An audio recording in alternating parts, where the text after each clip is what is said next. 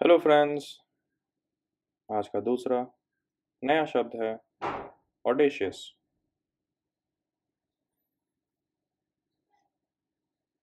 यह शब्द विशेषण यानी एडजेक्टिव की श्रेणी में आता है।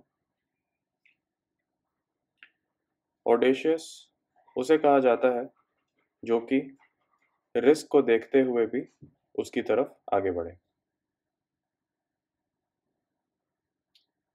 इस्तेमाल कर सकते हैं।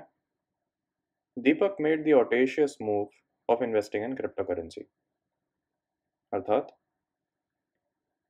क्रिप्टो करेंसी में इन्वेस्ट करने का दीपक ने एक बोल्ड या ब्रेव स्टेप लिया।